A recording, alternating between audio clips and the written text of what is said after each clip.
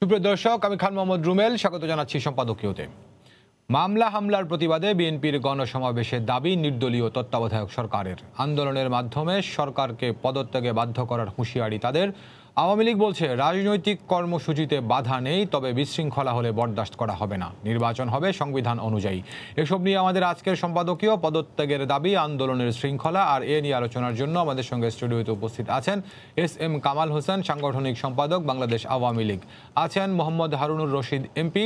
যুগ্ম মহাসচিব বিএনপি এবং আমরা আশা করছি অল্প সময়ের মধ্যে আমাদের সঙ্গে যোগ দেবেন barrister Shamim Haider Patwari MP presidium সদস্য জাতীয় পার্টি। দর্শক, আপনার আলোচনায় সরাসরি অংশ নিতে পারবেন। এজন্য জন্য টেলিভিশনের পর্দায় নম্বরে ফোন করতে হবে। এছাড়া ফেসবুকের মাধ্যমে আপনাদের মন্তব্য পাঠাতে পারেন। আলোচনা শুরুর আগে দেখে নেব এখনকার প্রধান শিরোনামগুলো। মামলা হামলার প্রতিবাদের কর্মসূচিতে নির্দলীয় সরকারের দাবি বিএনপির। ময়মনসিংহে গণ সমাবেশে যোগ দিতে বাধার অভিযোগ, কোনো বাধা নেই, জবাব আওয়ামী লীগের। ব্রুনাইয়ের সুলতান বলকিয়াকে লাল গালিচা সংবর্ধনা, সাভারে জাতীয় স্মৃতিসৌধে শ্রদ্ধা, বঙ্গভবনে রাষ্ট্রপতির সঙ্গে বৈঠক।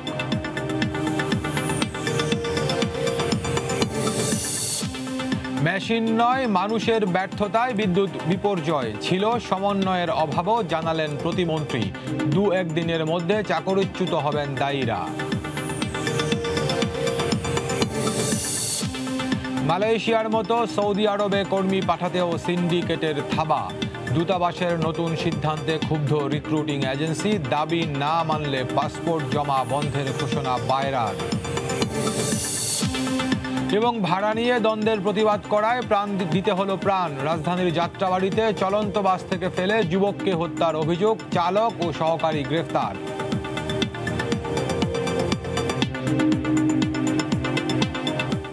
শিরোনাম দেখছিলেন, মূল আলোচনা যেতে চাই, বলছে আজকে আলোচনা শিরোনাম, পদত্যাগের দাবি, আন্দোলনের শৃঙ্খলা, বিএনপি বলছে যে তত্ত্বাবধায়ক সরকার লাগবে নির্বাচনের সময় এবং এই তত্ত্বাবধায়ক সরকার কায়েম করে সরকারকে অবিলম্বে পদত্যাগ করারও হুঁশিয়ারি দিয়েছেন বিএনপি নেতারা। আজকে ময়মনসিংহে তাদের বিভাগীয় সমাবেশ ছিল। এদিকে সরকারের দল আওয়ামী লীগ মনে করছে যে, রাজনৈতিক দল হিসেবে বিএনপি কর্মসূচি পালন করতেই পারে। কর্মসূচি পালনে কোনো বাধা নেই, তবে বিশৃঙ্খলা হলে সেটি আইন শৃঙ্খলা রক্ষাকারী বাহিনী যথাযথ ব্যবস্থা নেবে। এসব সহ অন্যান্য সমস্যা বিষয় আলোচনা করব। হারুন ভাই, আপনাকে দিয়ে শুরু করতে চাই। শুরুতে যেটি বলছিলাম যে, মামলা, হামলার প্রতিবাদ বিভিন্ন জায়গায় আপনাদের সমাবেশে নেতাকর্মীদেরকে আপনাদের আহত করা হয়েছে। আইন শৃঙ্খলা রক্ষাকারী বাহিনীর গুলিতে মারা গেছেন। এবং মামলা আসামি করা হয়েছে এসবের প্রতিবাদে পণ্যমূল্যের ঊর্ধ্বগতি সেসবের প্রতিবাদে আপনারা বিভাগীয় সমাবেশের কর্মসূচি ঘোষণা করেছেন। চট্টগ্রামের পরে আজকে ময়মনসিংহে করলেন। তো এখানে ব্যানার ফেস্টুনেও দেখা গেছে, তত্ত্বাবধায়ক সরকারের দাবি, নেতাদের বক্তৃতাতেও ছিল।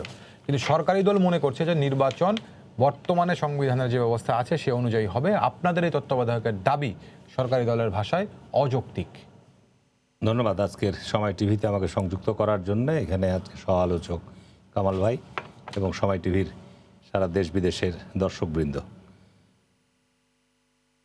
বিএনপি গত কয়েক বছর যাবৎ বাংলাদেশে অবাধ এবং সুষ্ঠু নিরপেক্ষ নির্বাচনের দাবিতে আন্দোলন করে আসছে এবং গত কয়েক মাস যাবৎ দ্রব্যমূল্যের ঊর্ধ্বগতি এবং দেশে অবাধ সুষ্ঠু নির্বাচনের দাবিতে আন্দোলন অব্যাহত রেখেছে তারই অংশ হিসাবে গত বারো তারিখে আপনার চট্টগ্রামে বিভাগের সমাবেশ ছিল এবং আজকে ময়মনসিংহ বিভাগের ময়মনসিংহে আপনার সমাবেশ ছিল। ইতিমধ্যেই গণমাধ্যমে এই বিষয়গুলো নিয়ে বিস্তারিত আপনাদের ইলেকট্রনিক্স মিডিয়া এবং প্রিন্ট মিডিয়াতে সামাজিক যোগাযোগ মাধ্যমে বিস্তারিত তথ্য প্রতিবেদন আমরা পাচ্ছি। আমার সবচেয়ে আশ্চর্য এবং অবাক অবাক লাগে সরকারি দলের যারা মুখপাত্র বা নেতৃবৃন্দ, আমি মনে করি তাদের এখন তার একটা বেসামাল, একটা বিভ্রান্তিকর অবস্থার মধ্যে পড়ে গেছে। দীর্ঘদিন কর্তৃত্ববাদী শাসন কায়েম করতে গিয়ে তাদের যে সর্বনাশটা তারা নিজেরা ডেকে নিয়ে এসছে। আমরা গত কয়েক মাস যাবৎ এই জনগণের মৌলিক অধিকারগুলো নিয়ে কথাবার্তা বলার ফলে জনগণের যে পাত ভাঙার জোয়ার সৃষ্টি হয়েছে, এতে আমি মনে করি যে সরকার এখন একটা বেসামাল পর্যায়ে রয়েছে। তাদের যে বক্তব্য, তাদের যে সমস্ত বিবৃতি, এগুলো খুবই আশ্চর্যজনক। আপনার কোনো বাধা নেই যদি এটি সরকারের দায়িত্বশীল ব্যক্তিরা বলে থাকে, তাহলে আজকে কোটা ময়মনসিংহ বিভাগে গণপরিবহন কেন বন্ধ ছিল? আজকে সেখানে মানুষ পায়ে হেঁটে এমনকি গত আমরা সামাজিক যোগাযোগ মাধ্যমে দেখলাম এবং স্বরাষ্ট্রমন্ত্রী একটা স্টেটমেন্টও করেছে যে রাত্রে গেল বিএনপি নেতা কর্মীরা মাঠে তো এইখানে আজকে বাধ্য হয়েই আমরা এই আশঙ্কা করছিলাম যে সরকার এই বিভাগীয় সমাবেশকে বাধাগ্রস্ত করার জন্য এই ধরনের পদক্ষেপ গ্রহণ করতে পারে। কারণ পার্শ্ববর্তী উপজেলাগুলো থেকে জেলাগুলো থেকে অনেক নেতৃবৃন্দ কষ্ট করে তারা আগের দিনে এসেছে এবং সেখানে কষ্ট করে রাস্তায় ফুটপাতে মাঠে শুয়ে থেকে রাত্রি কাটিয়েছে। এরপরও যদি সরকার বলে যে কোনো বাধা নেই আজকে অসংখ্য জায়গায় আমাদের নেতাকর্মীদের উপর হামলা পর্যন্ত হয়েছে। অসংখ্য জায়গা আমি একটা ছবি আজকে সামাজিক মাধ্যমে, রেল স্টেশনে সেখানে দেখলাম ঢিলাঢিলি হচ্ছে। আজকে চট্টগ্রামে গত বারো তারিখে সমাবেশে যাওয়ার পথে বহু জায়গায় হামলা হয়েছে, গাড়ি ভাঙচুর হয়েছে, আহত হয়েছে, আহত নেতৃবৃন্দকে আমাদের জাতীয় নেতৃবৃন্দরা হাসপাতালে দেখতে পর্যন্ত গিয়েছে। সুতরাং আজকে সরকার যে সত্যিকার অর্থে বেসামাল, কেবল তো দুইটা বিভাগে সমাবেশ হয়েছে এখনও ছয়টা বিভাগ বাকি রয়েছে। আমি আপনাকে দায়িত্ব নিয়ে বলছি, সরকারের যে মৌলিক জনগণের দাবি যে সরকার জনগণের ভোটের অধিকার নষ্ট করে ফেলেছে, ভোটের অধিকার যে হরণ করেছে, এই জায়গাটি ফিরিয়ে না পেলে মানুষ আজকে, আমি বলব যে যেভাবে আজকে উৎসাহ উদ্দীপনা নিয়ে আজকে সমাবেশগুলোতে অংশগ্রহণ করছে এইটি দিনকে দিন বাড়বে এবং সম্পূর্ণভাবে আমি বলব যে সরকার পরাজিত হবে, বিপর্যস্ত হবে, কোনো সন্দেহ নাই। জি, অনেক ধন্যবাদ ধন্যবাদ আপনাকে। আমাদের সঙ্গে স্বামী হায়দার বাটারি এমপি যুক্ত হয়েছেন স্বামী আপনাকে স্বাগত জানাচ্ছি। কামাল ভাইকে শুনে আপনার সঙ্গে কথা বলছি। কামাল ভাই শৃঙ্খলা, সরকারি দল বা আজকে সরকারের দুজন মন্ত্রী কথা বলেছেন, স্বরাষ্ট্রমন্ত্রী কথা বলেছেন, তথ্যমন্ত্রী কথা বলেছেন। তো সরকারি দলের নেতাদের ভাষায় সরকারের মন্ত্রীদের ভাষায় বিশৃঙ্খলা হলে বরদাস্ত করা হবে না। তো আন্দোলনের শৃঙ্খলা বলতে আপনারা কি বলছেন একটু বলবেন? আর আরেকটি বিষয় আমাদের হারুন ভাই বলছেন, যেহেতু আপনারা বলছেন যে কর্মসূচি পালনে কোনো বাধা নেই, তাহলে পরে আজকে ময়মনসিংহ বিভাগের বিভিন্ন জেলা থেকে ময়মনসিংহ শহরে আসার জন্য গণপরিবহন কেন বন্ধ করে দেওয়া হলো, সেই দাবি বিএনপি করছে। আপনি সমাবেশে দেখেছেন? কাঁচা বাঁশের লাঠি নিয়েও সমাবেশে ঢুকেছে আমি ছবিতে দেখেছি। আগে ধন্যবাদ জানাই দুই বিজ্ঞ আলোচককে। দুইজনই সংসদ সদস্য, যেন হারুন সাহেব এবং শামীম পাটোয়ারিকে আপনি সমাবেশে দেখেছেন যে কাঁচা বাঁশের লাঠি নিয়ে সমাবেশে এসেছে পরিবহন মালিকরা কি কারণে বন্ধ করছে? এই ব্যাখ্যাটা তারা দিতে পারবে। আমার যতদূর মনে হয়েছে যে তারা মনে করছে এই যে বাঁশের লাঠি বা লাঠি নিয়ে মিছিলে যাচ্ছে হ্যাঁ সেই ক্ষেত্রে কোথাও সংঘর্ষ হতে পারে পরিবহনের ক্ষতি হতে এই কারণে তারা পরিবহন এবং আওয়ামী লীগও বিভিন্ন জায়গায় সমাবেশ ডেকেছেন সেই কারণে মনে করতে পারে যে পরিবহনের ক্ষতি হতে তারা পরিবহন বন্ধ করেছে। ব্যাখ্যাটা তারা দেবে। সরকার পরিবহন বন্ধ করেনি। এক। দুই হচ্ছে হারুন সাহেব বলছে, ভোট অধিকার। আমি তো মনে করি ভোট অধিকার আছে। ভোট অধিকার না থাকলে তো হারুন ভাই এমপি হইতে পারতো না। পাটোয়ারি ভাই এমপি হইতে পারতো না। ভোট অধিকার তো আছে। আজকে বাংলাদেশে ভোট অধিকার যদি হরণ করে থাকে, তাহলে তো আমি ধরেন দুই হাজার একানব্বই আগ পর্যন্ত আমি কোনো আলোচনা করি একানব্বইয়ের পরের থেকে আমরা গণতন্ত্র পুনরুদ্ধার করছি। তারপর থেকে যখন আলোচনা করছি ভোট অধিকারটা তখন হরণ করার কথা ছিল না। তখনই ভোট অধিকার হরণ হয়েছে। আপনি একানব্বই সালে বিএনপি রাষ্ট্রীয় ক্ষমতা এসেছে। সেই সময় শান্তিপূর্ণ নির্বাচন হওয়ার কথা ছিল একটি গ্রহণযোগ্য। সেই সময় সংসদ সদস্যরা কিন্তু ভোট কেন্দ্রে পর্যবেক্ষক হিসেবে যেতে পারত। এবং মাগুরার নির্বাচনে বিরোধী দলের কোনো সংসদ সদস্য ভোট কেন্দ্রের আশেপাশে ঢুকতে পারেনি ছাত্রদল, যুবদলের সন্ত্রাসীদের প্রতিরোধের মুখে। কোনো সংসদ সদস্য যেতে পারেনি। রাস্তায় ব্যারিগেড দিয়ে অস্ত্রহীর তাদেরকেই করছে। সেই সময় কিন্তু নির্বাচন কমিশন প্রধান বিচারপতি আব্দুর রফ সাহেব মাগরে উপস্থিত ছিল। কিন্তু একটি নির্বাচন বন্ধ করতে একটা কেন্দ্র বন্ধ করতে পারেননি। ভোট অধিকার তো তখনই হরণ করা হয়েছে এবং নির্বাচন কমিশন তখন আজ্ঞাবহ ছিল বিএনপির। আপনি আসেন দুই হাজার এক সালের পরে দুই হাজার তিনে অথবা চারে মেজর মান্নানের এই সিটে নির্বাচন হয়েছিল তেজগাঁয়। তেজগাঁও রমনা। এবং সেখানে টেবিলের উপর ব্যালট মারা ছিল মারার ছবি আছে পত্রপত্রিকা বের হয়েছে এবং বি চৌধুরী মেজর মান্নান সাহেবকে সামনে রেখে- নিয়ে পাশে নিয়ে বলেছেন যে মাগুরার নির্বাচনকে হার মেনিয়েছেন সেজন্য একটি কেন্দ্র বাতিল হয়নি। আপনি এই গ্রিন রোডে একানব্বই সালে বিএনপি ক্ষমতা আসার পর আজকের প্রধানমন্ত্রী বিরোধী দলের একটি ভোট কেন্দ্রে পর্যবেক্ষক হিসেবে গিয়েছিলেন। গাড়িতে নামার সঙ্গে সঙ্গে যুব দলের এক নেতা তার পিস্তল দিয়ে গুলি করলেন। প্রধানমন্ত্রীকে লক্ষ্য করে একজন রিক্সা চালক মারা গেলেন। ওই কেন্দ্রে হামলা, পাল্টা হামলা হলো, কিন্তু ওই কেন্দ্রের নির্বাচন বন্ধ হয়নি। আজকে বাংলাদেশে হ্যাঁ হারুন ভাই বলবেন দিনের ভোট রাতে হয়েছে। তাহলে তো হারুন ভাই দিনের ভোটে রাতে এমপি নির্বাচিত হয়েছে। যদি দুই হাজার আঠারো তিরিশে ডিসেম্বরের নির্বাচন দিনের ভোট রাতে হয় তাহলে হারুন ভাই পাটোয়ারি ভাই দুইজনই দিনের ভোট রাতে করে নির্বাচিত হয়েছে। না কিন্তু হারুন ভাই যেটি বলছেন বা হারুন ভাইদের দল যেটি বলছে হারুন ভাইরা যে কয়জন হয়েছেন তারা তো এই কজন হওয়ার কথা নয়। সুষ্ঠু ভোট হলে তাদের আরও অনেক সহকর্মী অনেক হওয়ার কথা। নির্বাচিত হওয়ার আমি আপনার সাথে হারুন ভাইয়ের সাথে ভাইদের আসনে মেরে কেটেও আপনারা নিতে না না পারেন নাই হারুন ভাইদের ভাষায় হারুন ভাইয়ের সাথে আমি একমত। হারুন ভাইয়ের আরও সংসদ সদস্য জিতার কাম। হারুন ভাইয়ের সমর্থকরা ভোট কেন্দ্রে গিয়েছেন বলে হারুন ভাই জিতেছেন। পাটোয়ারি সাহেবের সমর্থকরা ভোট কেন্দ্রে গিয়েছেন বলে জিতেছেন। কিন্তু অন্য জায়গায় আমি যদি বলি হ্যাঁ যে সমর্থকরা ভোট কেন্দ্রে যায়নি কারণ দীর্ঘদিন তাদের চারের পাশের অধিক প্রার্থী ছিল সিদ্ধান্ত নিতে দেরি হয়েছে কর্মীরা ঘরে উঠে গেছে তারা আর ভোট কেন্দ্রে যায় কিন্তু কামল আমি যদি পাল্টা প্রশ্ন করি আপনাকে ধরুন হারুন ভাইরা সাতজন এমপি আছেন একজন সংরক্ষিত ছজন সরাসরি ভোটে নির্বাচিত হয়ে এসেছেন তাহলে তিনশোটি আসনের মধ্যে হারুন ভাইরা মাত্র ছজন তাদের ভোটারদেরকে মোবিলাইজ করতে পেরেছেন আর বাকি দুশো চুরানব্বই জন প্রার্থী পারেন নাই। আমি মনে করি তারা ওইভাবে ভোটটাকে নেয় নেই। আচ্ছা। ভোটটাকে নিলে হারুন চুরানব্বই জন নেই। নেই নিলে নালি নিলে হয়তো আর যেটা হয়েছে কি যে ধরেন তারা যে জোটটা করেছিল আজকে যে কথাটা বলে হারুন বেরা তারা যে জোটটা করেছিল কামাল হোসেনের নেতৃত্বে আপনি এখানে দুইজনই কিন্তু আমরা তিনজনই রাজনৈতিক কর্মী। একটা নির্বাচনকে সামনে রেখে বিশেষ করে জাতীয় সংসদ নির্বাচন যেটা ক্ষমতা পরিবর্তন নির্বাচন সেই নির্বাচনকে সামনে রেখে যারা নির্বাচনে অংশগ্রহণ করে তাদের দলের নেতারা বাংলাদেশের এক প্রান্ত থেকে অপর প্রান্তে চষে বেড়ায়। আপনি দেখেন দুই হাজার তিরিশে আঠারো তিরিশে ডিসেম্বরের নির্বাচনকে সামনে রেখে আপনি এইদিকে প্রধানমন্ত্রী শেখ হাসিনা এই পাশে ইরশাদ সাহেব ছাড়া বিএনপির নেতৃত্বে যে জোট হয়েছিল সেই জোট কি ঢাকার শহরের বাইরে কোথাও গেছে? সেই জোট কি ঢাকার শহরে কোনো মিটিং করেছে নির্বাচনে তাদের পক্ষে জনগণের রায় নেওয়ার জন্য। আপনি আমার একটা মিটিং এর ছবি দেখান যে কামাল হোসেনের নৃত্যে মির্জা ফখরুল সাহেব বাংলাদেশে তার নির্বাচনী এলাকা ছাড়া আর অন্য কোথাও গেছে হয়তো নর্থ বেঙ্গলে যাওয়ার পথে মিটিং করেছে আর কোথাও করেন নেই। তাহলে আর প্রধানমন্ত্রী সরকারি সুযোগ সুবিধা বাদ দিয়ে উনি সারা বাংলাদেশে আপনি টুঙ্গিপাড়াতে শুরু করেছেন রংপুর যে শেষ করেছেন। এবং ঢাকার আশেপাশেও জনসভা করেছেন আপনি তো জানেন। তাহলে আমি তো মনে করি যে বিএনপি ওই নির্বাচনটাকে তারা নির্বাচনে প্রতিদ্বন্দ্বিতামূলকভাবে গ্রহণ করেননি। এই যে নির্বাচন বাণিজ্য করেছেন। বুঝতে পেরেছি। আর আমি যে প্রশ্নটা করেছেন কামাল ভাই আমি এটা আপনার কাছে এসে শুনব। তার আগে স্বামী মাহাদের পাটোয়ারি আপনার সঙ্গে যুক্ত হতে চাই।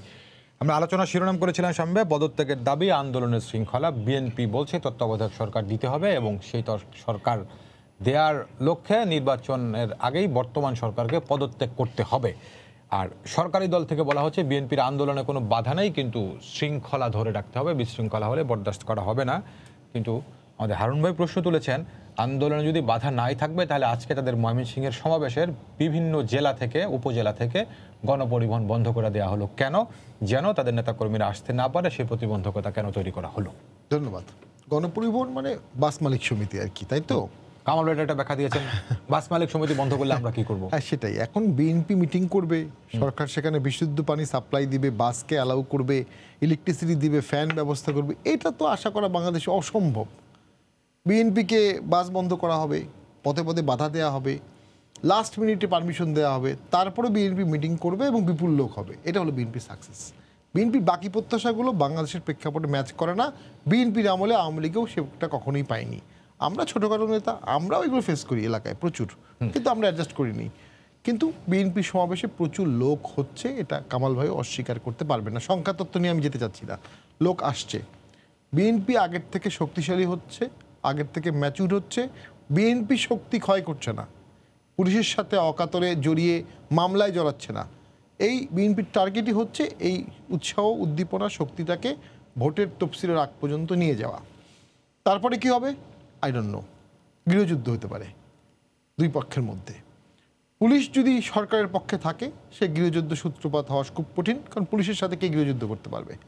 পুলিশ যদি নিরপেক্ষ থাকে, তখন সে গৃহযুদ্ধ হলে কে কী করবে এটা বলা খুব মুশকিল। এখন পুলিশ বিশৃঙ্খলা ঘটালে পুলিশের একটা দায়িত্ব থাকে, সেটা নিষ্ক্রিয় করা, সেটা পুলিশ করতে পারে। আমি ভীত সামনের দিনগুলো নিয়ে। আজকে বাসি বা কাঁচালা বা বাঁশ দিয়ে বিএনপি মিটিং করল, আওয়ামী লীগ তো বাধা দিল না। এটা আওয়ামী লীগের উদারতা, আবার কনসেশন অ্যান্ড কম্প্রোমাইজ আরও কনসেশন কম্প্রোমাইজ আওয়ামী লীগকে করতে হবে। যদি আওয়ামী লীগ একটা মোটামুটি মোটামুটি শান্তিপূর্ণ সমাধান দেখতে চায়। আর যদি সংঘাতময় সমাধান দেখতে চায়, সেখানেও আওয়ামী লীগ জয়ী হতে পারে। তাহলে কম্প্রোমাইজ কনসেশন করবে না। কিন্তু কনসিকুয়েন্স লং টার্মে ডেফিনেটলি সেটা ড্রাস্টিক হবে দেশের জন্য, আওয়ামী লীগের জন্য, সবার জন্য। হারুন ভাই বললেন, সরকারকে পদত্যাগ করতে হবে। মানে এই পদত্যাগের পরে কি হবে? এই সলিউশনটা সংবিধানে নাই। এখানে একটা বিগ প্রবলেম রয়ে গেছে। There will be no government situation মাৎসন্যায় হবে। একদিন কি সরকার ছাড়া দেশ চলতে পারবে? তাহলে মেজরিটি আছে আওয়ামী লীগের। আওয়ামী লীগ সংবিধান অ্যামেন্ডমেন্ট করবে না। সংবিধান অ্যামেন্ডমেন্ট ছাড়া পদত্যাগ করার সুযোগ খুব কম। এখানে সংবিধানে আমি একটু অ্যানালাইসিস করব একবার আমি হাফ অ্যানালাইসিস করেছি। আসলেই সংবিধানের শূন্যতা আছে। বলা আছে যদি টেনুর শেষ হয়ে যায় টেনুর শেষ হওয়ার তিন মাসের মধ্যে ভোট করতে হবে। টেনুর শেষ হওয়ার তিন মাস আগে ভোট করতে হবে দ্যাট ইজ দ্য টার্ম আর কখনো যদি মাননীয় প্রধানমন্ত্রী সংসদ ভেঙে দেয়, এটা এই ক্ষমতা কিন্তু মাননীয় প্রধানমন্ত্রীর আছে এখনও আছে, তারপর কি হবে? তারপর যে তিন মাস পরেই মধ্যে ভোট হবে, এই তিন মাস কোন সরকার থাকবে? খুব সম্ভবত সংবিধানে একটু গ্যাপ আছে, আমি চেক করে নেব। এই গ্যাপগুলো আমরা কখনো কল্পনা করিনি। তো এইখানে একটা নো গভর্নমেন্ট সিচুয়েশনের দিকে তো আমরা যেতে পারি না। আমাদের ভবিষ্যৎ অ্যাটাক করতে পারে মায়ানমার আমাদেরকে একদিনে দখল করে ফেলতে পারে, একদিন যদি সরকার না থাকে। আর্মিকে কমান্ড দেবে কে? পুলিশ চালাবে কে? দেশ চালাবে কে? সো এখন একটা আলোচনার মাধ্যমে কংক্রিট প্রপোজালের সময় চলে আসছে। যেটা হয়তো বা আওয়ামী লীগ মানবে না। কিন্তু মানার মতো একটা যুক্তিযুক্ত প্রপোজাল লাগবে। ঠিক এখনই পদত্যাগ করতে হবে। আমি মনে করছি এই প্রেক্ষাপটে এটা যুক্তিযুক্ত কখনোই প্রপোজাল হতে পারে না। এবং আওয়ামী লীগকে দুর্বল হওয়ার কোনো কারণ নেই। স্টিল দেয়ার ইন পাওয়ার এখনও মাননীয় প্রধানমন্ত্রী বঙ্গবন্ধুর কন্যা। এখনও অনেক কিছুই তার অভিজ্ঞতার মধ্যে আছে। তিনি নিজেও মাঠ মাঠে আন্দোলন করেছেন। শামীম ভাই এই আলোচনাটা আমি আরেকটু আপনার সঙ্গে করতে চাই। আপনি যদি বলছিলেন সংবিধানে একটি গ্যাপ আছে। তো এই ক্ষেত্রে আবার বিএনপি থেকে সম্প্রতি বলা হচ্ছে যে এই যে তারা নিরপেক্ষ বা নির্দলীয় বা তত্ত্বাবধায়ক সরকার চাচ্ছেন এটি একটি রূপরেখা তারা তৈরি করেছেন তারা সেটি দেবেন। তো বিএনপি বলছে যে ছিয়ানব্বই সংবিধানের আলোকে আটান্নর ক ধারা অনুযায়ী এবং এই রায়ের আলোকে অর্থাৎ যেই আমাদের এই প্রধান বিচারপতি খায়রুল হকের যে রায়ের মাধ্যমে হ্যাঁ ওইটার আলোকেই তারা একটি ফর্মুলা দেবেন। দুটি নির্বাচন তো পার হয়ে গেছে। বলা হয়েছিল পরবর্তী দুটো নির্বাচন সংসদ চাইলে কেয়ারটেকার গভর্নমেন্টে করতে পারে। চোদ্দ সাল আঠারো সাল পার হয়ে গেছে। একই রকম একটি প্রস্তাব একানব্বই সালে চার দলীয় জোট দিয়েছিল যে পরবর্তী চারটি ভোট কেয়ারটেকার গভর্নমেন্টে করতে হবে। এটা কিন্তু একানব্বই সালে দেওয়া হয়েছিল সেটা ফলো হয়নি ফুললি ফলো হয়নি। তো সেখানেও চারটা ভোট হয়ে গেছে। এখন আর আগের মতো কেয়ারটেকার হওয়ার সুযোগ আছে বলে আমি মনে করি না। এখন নতুন কিছু সুযোগ করতে হবে। এই মুহূর্তের প্রেক্ষাপট হচ্ছে সংবিধানের আলোকে যদি করতে হয় তাহলে বিএনপির সংখ্যাগরিষ্ঠ কম তাদের টেকনোক্র্যাট মন্ত্রী হিসেবে যাওয়ার সুযোগ আছে। একটা সুযোগ আছে আপনি টেকনো আপনাকে নিয়ে বলেছিলাম টেকনোক্র্যাট মন্ত্রীর সংখ্যাটা বাড়িয়ে দিতে পারেন সংবিধান অ্যামেন্ডমেন্ট করে। ক্রিটিক্যাল ইস্যু হচ্ছে যেটা যে আপনি যদি বলেন এখন caretaker government as it was before সংবিধানে নিয়ে আসেন তাহলে আপনি সুপ্রিম কোর্টের রায়ের সরাসরি ভায়োলেশন করছেন। এটা আপনি করতে পারেন না। আবার রিভিউতে যদি আপনি যান সেখানে বিএনপিরই আমার মনে হয় আদালতের উপর আস্থা নাই আস্থা থাকার কোনো কারণও নেই আর রিভিউ কখনো সফলও হয় না। আর এতদিন পর্যন্ত তো কেউ রিভিউ করেননি। করেওনি। এখানে একটা বিশাল শূন্যতা আছে। এটা আওয়ামী লীগের সৃষ্ট শূন্যতা অন্য কারও সৃষ্ট না। কিন্তু সমাধানটা কোথায়? ঠিক সাংবিধানিক সমাধান কিন্তু নাই। আবার অসাংবিধানিক সমাধান শেষ করে দিচ্ছি এটা তো আমরা তিনজন রাজনীতিবিদ কেউ চাবো না। রাইট আরুণ ভাই এইখানে আপনি একটা আলোচনা করবেন আমাদের আহ, স্বামী হাতের পাটের ভাই যে প্রশ্নটা তুলেছেন এবং সঙ্গে আরেকটা বিষয় আমি একটু যোগ করে দিতে চাই সেটা হচ্ছে যে গণমাধ্যমে আমরা রিপোর্ট দেখেছি এবং আপনিও আমাদের সময় সংবাদের সঙ্গে কথা বলেছেন যে আপনাদের পদত্যাগ করার অর্থাৎ এই ডিসেম্বরের আগে বা ডিসেম্বরের মধ্যে আপনারা পদত্যাগ করবেন এরক- এরকম একটি কথাও আপনাদের দলে আলোচিত হচ্ছে। তো এই ক্ষেত্রে আবার স্বামী ভাই বলছেন যে আপনাদের টেকনোক্রেট বাড়ানো হতে পারে বা বা- বাড়ানো যেতে পারে যেহেতু আপনাদের সদস্য সংখ্যা কম সংসদে। কিন্তু আবার যদি পদত্যাগ করেন তাহলে সেই জায়গাটাতেও তো আপনারা তাহলে আর সংসদে থাকলেন না। যাই হোক আমি আমাদের মাননীয় সদস্য সংসদ সদস্য শামীম পাটওয়ারি আর আমাদের কামাল ভাইয়ের আলোচনার আলোকেই কতগুলো বিষয় আমি এখানে আলোচনা করতে চাই। এক নম্বর হচ্ছে কামাল ভাই নির্বাচনে অনিয়মের যে কয়েকটি উদাহরণ উল্লেখ করেছেন চৌরানব্বই সালে মাগুরা নির্বাচন এবং দু হাজার তিন সালের দিকে আমাদের ঢাকার রমনা নির্বাচন এগুলো কিন্তু দলীয় সরকারের অধীনেই অনুষ্ঠিত হচ্ছিল। এবং দলীয় সরকারের অধীনে নির্বাচন নিয়ে গ্রহণযোগ্যতা নিয়ে প্রশ্ন থাকার কারণেই কিন্তু সকল দলই সেই আশির দশকের থেকে শুরু করে একেবারে নব্বই দশক পর্যন্ত আন্দোলন করেছে এবং তত্ত্বাবধায়ক সরকার ব্যবস্থা নির্বাচনের সুষ্ঠু পরিবেশের জন্য একটা অবাধ সুষ্ঠু নির্বাচনে স্থাপন করা হয়েছিল। সেটা নিয়ে প্রশ্ন আসতে পারে। এখন আমরা আসলে হয়েছে কি যে মানুষ আমরা এত বেশি তর্কপ্রিয়। আমরা আমাদের স্বার্থগত কারণে তর্ক করি, জেনে বুঝেও করি, আবার না জেনে না বুঝেও করি। এটা আমাদের বৈশিষ্ট্য। মানুষের, মানুষ মাত্রই এটা বৈশিষ্ট্য। এখন আপনি নির্বাচন নিয়ে যদি আপনি সাম্প্রতিক কথা বলেন, গত পরশুদিন গাইবান্ধে একটা উপনির্বাচন হয়েছে। সেটা বাতিল হয়ে গেছে। ঠিক আছে না? সেটা নিয়ে আপনার সরকারের যে প্রতিক্রিয়া জনাব আমাদের মাননীয় যোগাযোগ মন্ত্রী আওয়ামী লীগের সেক্রেটারি জেনারেল ওবায়দুল কাদের আমাদের আওয়ামী লীগের জয়েন্ট সেক্রেটারি আপনার হানিফ সাহেব তারপরে আরও অনেকেই আমাদের হাসান মাহমুদ সাহেব যে বক্তৃতা বিবৃতিগুলো গণমাধ্যমে পেয়েছি খুবই এটা উদ্বেগজনক। কারণ সরকারের ওনারা দায়িত্বশীল ব্যক্তি। শুধু দলের দায়িত্বশীল না সরকারেরও দায়িত্বশীল ব্যক্তি। নির্বাচন কমিশন তাদেরই নিয়োগপ্রাপ্ত। এবং নির্বাচন কমিশন কিন্তু সুস্পষ্টভাবে বলছে যে তারা সুনির্দিষ্ট সুনির্দিষ্ট তথ্য প্রমাণের ভিত্তিতেই এবং এই প্রথম নির্বাচন হয়েছে যে নির্বাচন কেন্দ্রগুলোতে সিসি ক্যামেরা স্থাপন করা ছিল। এবং সিসি ক্যামেরা স্থাপনে তারা যে চিত্র পেয়েছে সেই আলোকে নির্বাচন কমিশন নির্বাচনটি বাতিল করেছে। এবং তার পূর্বে কিন্তু এখানে যারা প্রতিদ্বন্দ্বী প্রার্থী ছিল, সরকার দলীয় প্রার্থী ছাড়া অন্যান্য যে প্রার্থীগুলো ছিল তারা সকলেই কিন্তু রিজাইন করেছে নির্বাচনে অনিয়ম দুর্নীতির কারণে। এখন প্রশ্নটা হচ্ছে এটি কিন্তু নির্বাচন কমিশনকে এখন নিষ্পত্তি করতেই হবে। নির্বাচন কমিশন নিষ্পত্তি করতে হবে এই কারণে এটা নিয়ে কিন্তু অনেক ডিবেট হচ্ছে। নির্বাচন কমিশন এইটা নিষ্পত্তি করতে হবে এই কারণেই যে এই নির্বাচনে অনিয়মের কারণে কিন্তু নির্বাচনটা বাতিল হয়েছে। তাহলে এই অনিয়মের সাথে যারা জড়িত সেটা চিহ্নিত হয়েছে। তার মানে প্রযুক্তির যুগ এটা দু হাজার চৌরানব্বই উনিশশো চৌরানব্বই ভোট না দু হাজার তিন সালের ভোট না। প্রযুক্তি ওখানে স্থাপন করা হয়েছে প্রযুক্তির মাধ্যমে ওখানে চিহ্নিত হয়েছে যে এই ডাকাত ছিল কারা। শুধু ডাকাতদেরকে এখন চিহ্নিত করতে হবে আইনের আওতায় তাদেরকে আনতে হবে। এবং ডাকাতের সহায়তাই কারা? সহায়তাকারী কারা? ওখানে যার প্রিজাইডিং অফিসার সহকারী প্রিজাইডিং অফিসার ছিল প্রশাসন ছিল আইন প্রয়োগকারী সংস্থা ছিল তারা এই কাজে সহায়তা করেছে। না হলে গোপন কক্ষে কোনো অবস্থাতেই কোনো লোক থাকার কথা নয়। কোনো অবস্থাতেই কোনো লোক থাকার কথা না। আমি স্পষ্টভাবে বলব এখানে কামাল ভাই আছে বিভ্রান্তি এবং বিতর্ক তৈরি না করে। আমরা এটা নিষ্পত্তি চাইতে গেলে নির্বাচন কমিশনকে নিয়ে অনেক প্রশ্ন আছে। সুতরাং নির্বাচন কমিশনকে শুধু নির্বাচন বাতিল করলেই হবে না। এই বাতিল করার কারণে ক্ষতিগ্রস্ত হয়েছে কারা? যারা ওখানে নির্বাচনে অংশগ্রহণ করেছে তারা ক্ষতিগ্রস্ত হয়েছে ভোটাররা ক্ষতিগ্রস্ত হয়েছে এবং সরকারের যারা দায়িত্বশীল ব্যক্তি তাদের ইমেজ নষ্ট হচ্ছে। এতগুলো কিছুর কারণে অবশ্যই এই নির্বাচনের সাথে যারা এই অনিয়ম এবং দুর্নীতির সাথে যারা জড়িত তাদেরকে এখন দ্রুততম সময় চিহ্নিত করে তাদেরকে ব্যবস্থা নিতে হবে।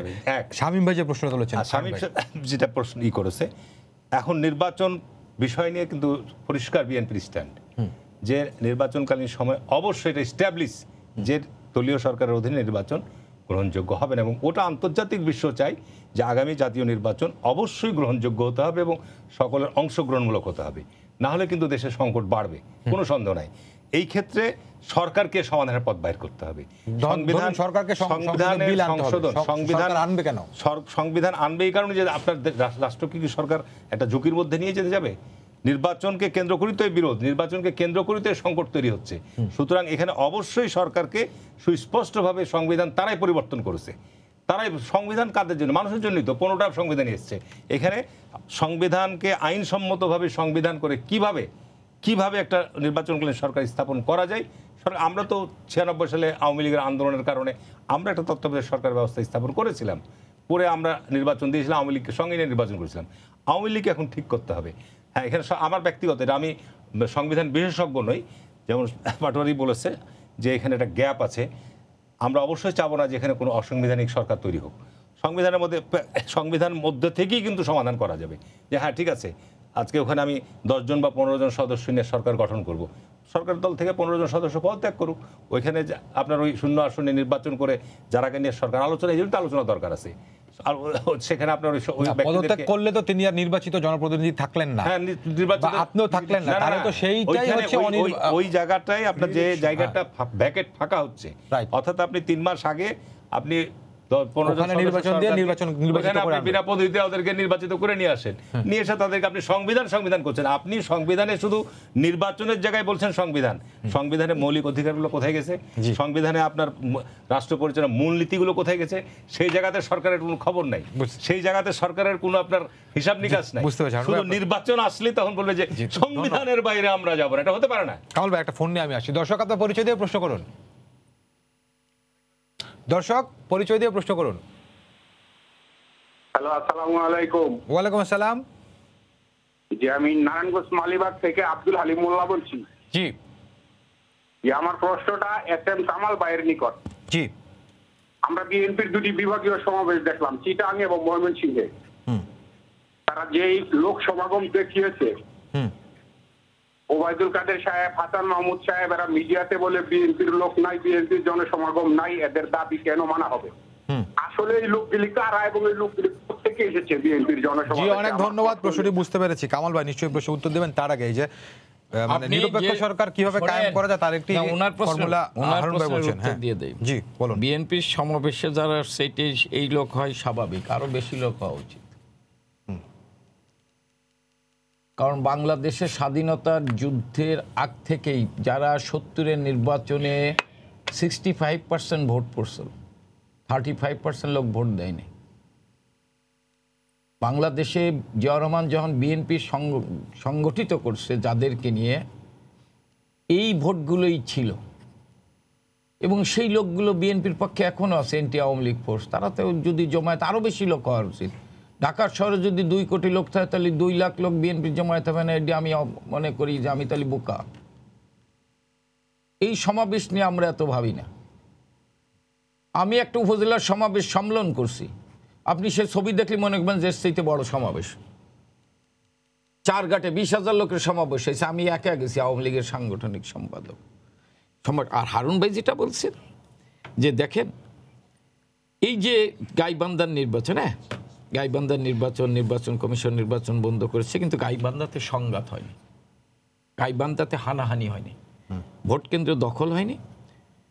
শক্তিশালী প্রতিপক্ষ ছিল না। কিছু কেন্দ্রে অনিয়ম হয়েছে হতে পারে। আমি এটা অস্বীকার করি।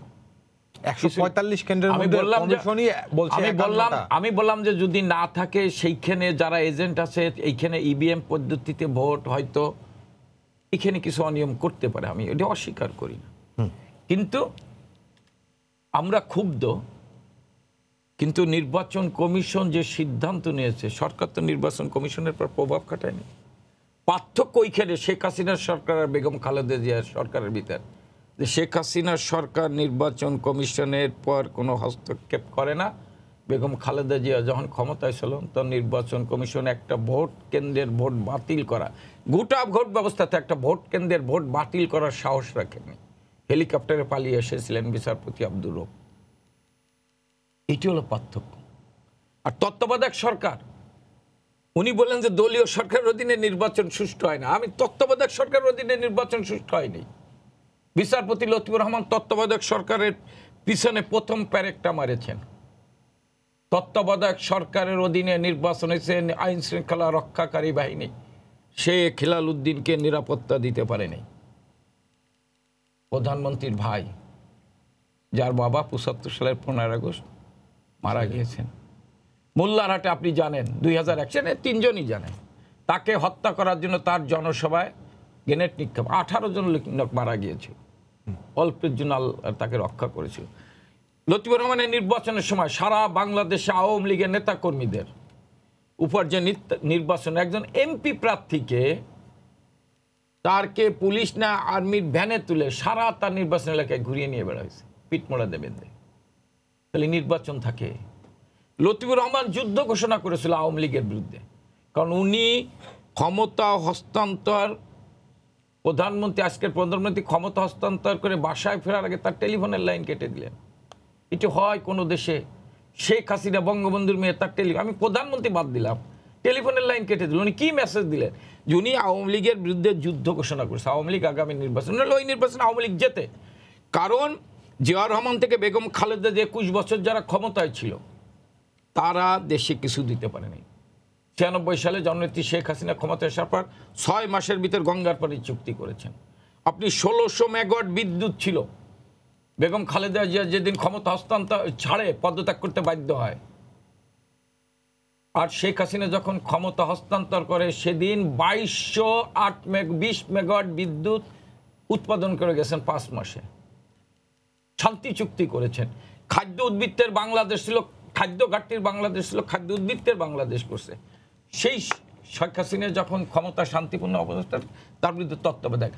আর দুই সালের তত্ত্বাবধায়ক সরকারকে বিতর্কিত করল কে?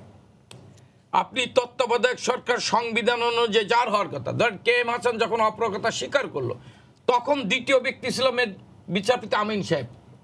কি পাটোয়ারি ভাই? জি। বিচারপতি আমিন সাহেব হওয়ার কথা। সুপারসেট করেছিল হ্যাঁ। তাকে না করে রাষ্ট্রপতিকে করলেন এবং রাষ্ট্রপতি একটি অধ্যাদেশ দিলেন যে তার নিয়োগকৃত ব্যক্তিদের বিরুদ্ধে কিছু বলা যাবে না। মানে মোকলেসুর রহমান ছিলেন একজন। তাকে উপদেষ্টার মর্যাদা দেওয়া হলো। এবং সে হচ্ছেন হাওয়া ভবনের তার সুতা। যেভাবে নির্দেশ দিত মোকলেস সেইভাবে রাষ্ট্রপতিকে চালান অর্থাৎ তত্ত্বাবধায়ক সরকারকে বিতর্কিত করল। রাষ্ট্রপতি আবার তত্ত্বাবধায়ক সরকার কামাল ভাই, এবং বেগম বিতর্কিত করেছেন, আমি বললাম সেইটাকে সেদিন তারেক জিয়া- বিতর্কিত না করে করা যায়? তারেক প্রশ্নটা BNP সেদিন তারেক জিয়া কি বলছিল? আওয়ামী লীগ থাকে না ভোট হওয়ার দরকার নাই তারেক রহমান। জনের দুই হাজার ছয়।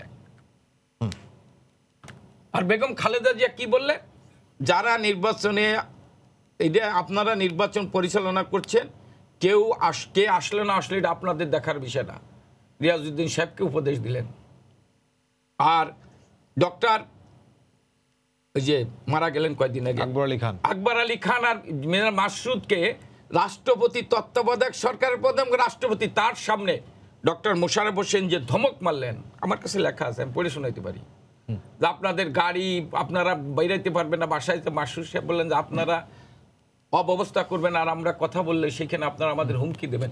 এইভাবে তো তত্ত্বাবধায়ক সরকারকে বিতর্কিত করল বিএনপি জি আমি কামাল ভাই একটু শামীম ভাইকে শুনছি। শামীম ভাই ধন্যবাদ। এই নির্বাচন প্রসঙ্গটি মানে গাইবান্ধা পাঁচ উপনির্বাচন প্রসঙ্গটি আপনি ধারণা আনছিলেন। তো হ্যাঁ আপনারাদের প্রার্থী ছিল এবং আমরা দেখেছি দুপুর আহ, দুইটা নাগাদ আপনাদের একটি প্রতিনিধি দল নির্বাচন কমিশনও গিয়েছিলেন প্রতিবাদ জানাতে। এর আগে আপনাদের প্রার্থী রিজাইন করলেন। কিন্তু কমিশনার, প্রধান নির্বাচন কমিশনার তো বলছেন যে স্বচক্ষে দেখে আমরা নির্বাচনটিতে অনিয়ম পেয়ে সেটি বন্ধ করেছি। কিন্তু এখন এই প্রশ্নটি আবার কেউ তুলছেন যে সিসি ক্যামেরায় আপনার একশো পঁয়তাল্লিশটি কেন্দ্রে পর্যবেক্ষণ করা, তো এখন তো হচ্ছে যেই একশো পঁয়তাল্লিশটির মধ্যে আসলে কতটি বুথে অনিয়ম হয়েছে? একান্নটি কেন্দ্র আপনি বন্ধ করে দিলেন, একান্নটি কেন্দ্রের কটি বুথে অনিয়ম হয়েছে, বাকি বুথগুলোর কি ছিল? কমিশনাররা কেউ কি সচক্ষে মানে সরজমিন সেখানে যেতে পারতেন? নাকি সিসি ক্যামেরায় দেখেই বন্ধ করে দেওয়াটা যৌক্তিক হচ্ছে। এই আলোচনাটা ঘুরে ফিরে আসছে। কমিশন যে কোনো সিদ্ধান্ত নিতে পারে তা আইনে কোনো বাধা নেই। না বা- আইনে তো হ্যাঁ, বাধা নেই। তবে আওয়ামী লীগের প্রার্থী বলতে পারে তার সাথে ফেয়ারনেস করা হয়নি এভিডেন্স ডাকা হয়নি তার বক্তব্য শোনা হয়নি প্রিজাইডিং প্রিজাইডিংদের বক্তব্য এটা বলতে পারে। প্রিজাইডিং কে? সরকারি কর্মকর্তা কোনো একটা স্কুলের প্রধান শিক্ষক। ওই স্কুলের সভাপতিকে আওয়ামী লীগের উপজেলা সভাপতি ইউনিয়ন সভাপতি অথবা চেয়ারম্যান অথবা কোনো হোমরা চোমরা ওকে থ্রেট করে বলে দেওয়া আছে। আওয়ামী লীগের পক্ষে কাজ করতে হবে। এবং আমি আপনাকে বলে দিচ্ছি আমি জানতে পেরেছি সাদা কাগজে সাইন নেওয়া হচ্ছে প্রিজাইডিংদের কাছে। এখানে লেখা হবে ভোট সুষ্ঠু হয়েছে ভোট সুষ্ঠু হয়েছে ভোট সুষ্ঠু হয়েছে। হয়তোবা। তাহলে ভিডিওটা কোথায় যাবে? কি হলো? কি হয়েছে? এটা আমরা গাইবান্ধাবাসী সবাই জানি মুখে মুখে জানে। আপনি যে কোনো সময় যে কোনো সাংবাদিককে ছদ্মবেশে পাঠিয়ে দেন আপনি জানতে পারবেন। এটার জন্য কোনো এভিডেন্স দরকার নেই। পাবলিক পারসেপশনের উপরে আর কোনো পারসেপশন দরকার হয় না। Eyes for eyes will make the whole world blind কতজনকে শাস্তি দিবেন? আমরা বলে আসছি বহিরাগত ঢুকছে আমি নাম বলতে চাচ্ছি না খুব বড় বড় নেতা তারা। তারা ভোটার নাও এলাকার। ওই দিন আসনের মধ্যে তারা ছিল।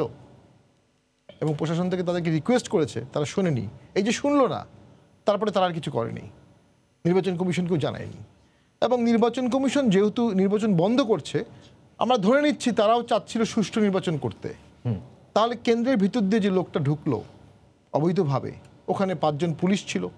তাদের কাছে পাঁচটা গান ছিল একটা গুলি ফুটালো না। গুলি কি প্রার্থীকে ফুটাতে হবে? প্রার্থী কি বন্দুক নিয়ে তার কেন্দ্র রক্ষা করবে? প্রার্থী ভোটারকে চেষ্টা করবে নিয়ে যেতে। এখানে একটা মিসকনসেপশন তৈরি হয়ে গেছে যেটা আমার কামাল ভাই বললেন বাধা তো কেউ দেয়নি। বাধা দিতে পারেনি বলেই সে ভোট সুষ্ঠু। একতরফা ভোট হয়ে যাচ্ছিল। আমি ভোট সুষ্ঠু সুষ্ঠু মানে- হয়ে যাচ্ছিল ঠিক আছে। কিন্তু আমি যদি বলতে চাইছি ধরুন কমিশন এখান থেকে সিসি ক্যামেরায় দেখেছে যে এই গোপন কক্ষে একাধিক লোক- আইনগত ত্রুটি নাই না, একাধিক লোক রয়েছে। কিন্তু কমিশন কি সেটা নিবৃত করার যথেষ্ট পরিমাণ উদ্যোগ নিয়ে অসফল হয়ে তারপরে বন্ধ করেছে? এই আলোচনাটা আসছে? আপনার ভোট যে ভোট কেন্দ্র আপনি তো সবই জানেন ভোটার থাকবে তারপরে সামনে গেটে একজন পুলিশ থাকবে ভোটার ছাড়া সেখানে আর কেউ ঢুকবে না ভোটার ভোট দেবে চলে আসবে। বাইরের তিন চারটা লোক সেখানে ঢুকলো কার সহায়তায়? পুলিশের সহযোগিতায় বা পুলিশের নিষ্ক্রিয়তায়? আমি আপনাকে ওপেনলি বলতে চাচ্ছি না কারণ আমি কোনো কোনো একটি প্রতিষ্ঠানকে মেলাইন করতে চাই না। পুলিশের সক্রিয় অংশগ্রহণ ছিল এতে। এটা আমাদের জাতীয় বাড়ির আভ্যন্তরীণ মেসেজ পুলিশ জাতীয় বাড়ির এজেন্টকে বের করে দিয়েছে এটা শুনেছি আমরা। আমি সুনির্দিষ্টভাবে বলব না। পুলিশ গেট থেকে বের করে দিয়েছে। এরকম ঘটনা ঘটেছে? তো আমি যেটা জানি এটা নির্বাচন কমিশন জানবে না? এভিডেন্সের বিষয় আপনি এই যে বললাম তাহলে ভোটটা আর কাকে দিয়ে করবে? কতজনকে দিবে? ডিপ্লয়মেন্ট ছিল সেখানে কয়েক হাজার পুলিশ। সবাই এটার জন্য রেসপন্সিবল মোরললেস এখন যেটা আমাদের দরকার এই এই ধরনের ভোটে নির্বাচন কমিশনের এক হাজার নিজস্ব কর্মকর্তা থাকা দরকার। যারা প্রিজাইডিং চেঞ্জ করে দেবে। কমপ্লিট সিস্টেম ওভাররাইড করে ফেলতে হবে। একশো পঁয়তাল্লিশটা সেন্টার, একশো পঁয়তাল্লিশটা প্রিজাইডিং ঢাকা থেকে পাঠাতে হবে। সম্পূর্ণ নিউট্রাল। সাইন করবে না কাগজ। ওই যে আমি নির্বাচন কমিশনে গিয়েও এটা বলেছিলাম। আপনি সব কিছু বলেন, আপনার প্রিজাইডিং যখন সাইন করে, ওটা বৈধ হয়ে যায় অ্যাপারেন্টলি প্রিজাইডিং সাইন করে কেন? বাংলাদেশে যদি ভোট হয় তিরিশ হাজার সেন্টারে ভোট হয়। তিরিশ হাজার সেন্টারে প্রিজাইডিং দিন শেষে সাইন করে। বাংলাদেশে কখনো ত্রিশ হাজার সেন্টারে সুষ্ঠু ভোট হয়েছে? ওই জায়গাতে অনেক কাজ করার প্রয়োজন আছে। পাশাপাশি নির্বাচন কমিশনের নিজস্ব টাইম চলে আসছে। আমি বারবার বলছি নির্বাচন পুলিশ দরকার কমান্ডো দরকার। প্রবলেম হচ্ছে ফোন করে দেবে নির্বাচন কমিশনের বিজিবি বিডিআর পুলিশ কাউকে করতে হবে না। নিজের লোক চলে যাবে।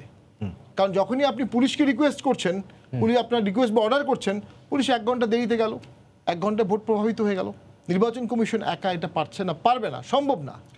এটা ধরুন একটি উপনির্বাচন ছিল তো এসব প্রেক্ষাপট বিবেচনায় আবার বিএনপি থেকে প্রশ্ন তোলা হচ্ছে তিনশোতে যখন হবে একদিনে তিনশো আসনে ভোট তাহলে পরিস্থিতিটা কি দাঁড়াবে? সেই জায়গাতেই বিএনপির যুক্তি নিরপেক্ষ সরকার লাগবে জাতীয় পার্টি কি সেটা সমর্থন করে? জি আমি খুব সুস্পষ্টভাবে বলি যদি নির্বাচন কমিশনকে ফ্রিডম দেওয়া হয় নির্বাচন কমিশনের কথা শোনা হয় ডিসি পরিবর্তনের এসপি পরিবর্তনের ওসি পরিবর্তনের টিওনো পরিবর্তনের এবং দুই পক্ষ যদি বলে এই প্রিজাইডিংরা বিতর্কিত এদেরকে বাদ দিয়ে নিরপেক্ষ প্রিজাইডিং দেন নিরপেক্ষ প্রিজাইডিংয়ের পথ যদি আপনি বের করতে পারেন নির্বাচন কমিশন পারবে। শোনেন সুশাসনের দৃষ্টান্ত আপনি তিনশো আসনে দরকার নেই। আপনি তিরিশটা এক্সাম্পল ক্রিয়েট করলেই হবে। আপনি যাই বলেন নির্বাচন কমিশন এই যে একটা মানে কামড় দিয়েছে এটার ইম্প্যাক্ট পড়েছে। প্রশাসনের মধ্যেও পড়েছে পুলিশের মধ্যেও পড়েছে আওয়ামী লীগের মধ্যেও পড়েছে। তবে আমি খুব শেষ করে দিচ্ছি এটা ক্রিটিক্যাল একটা পয়েন্ট আছে। সেটা হচ্ছে আপনার নব্বই দিনের মধ্যে ভোট করতে হবে। এবং এইখানে এই উপনির্বাচনের ক্ষেত্রে শুধুমাত্র সিএসসি কে একটা ক্ষমতা দেওয়া আছে যে নব্বই দিনের পরে উনি আরও নব্বই দিন এক্সটেন্ড করতে পারবেন যদি অ্যাক্ট অফ গড হয়। এখন এটা কি অ্যাক্ট অফ গড যে সরকারি বহিরাগত। দশ এক হাজার লোক ছিল এখানে একটা কনস্টিটিউশনাল ইস্যু দাঁড়িয়ে যাচ্ছে। জি অনেক ধন্যবাদ। হারুন ভাই সময় খুব অল্প এক দেড় মিনিট বলবেন আপনি এই যে আমাদের পাটারি যে কথাটা বললেন নিরপেক্ষ সরকার তো একটা বিষয় আপনাদের যেটি দাবি এটি ছাড়াও প্রতিষ্ঠানকে শক্তিশালী করা নির্বাচন কমিশনকে শক্তিশালী করা এবং যথেষ্ট পরিমাণে ফ্রিডম এবং ক্ষমতা দেয়া আছে দেয়া কিন্তু সেটা প্র্যাকটিস করতে দেওয়ার সুযোগ করে দেয় তাই তো শামীম ভাই? সেইটাতে আপনারা যান না কেন? একশো বার আমরা সেটা চাই। আজকে বাংলাদেশের বয়স পঞ্চাশ বছর পেরিয়ে গেছে। কিন্তু আমাদের দুর্ভাগ্য যে আমরা আমাদের ইনস্টিটিউশনগুলোকে শক্তিশালী করতে পারিনি এটা আমাদের ব্যর্থতা।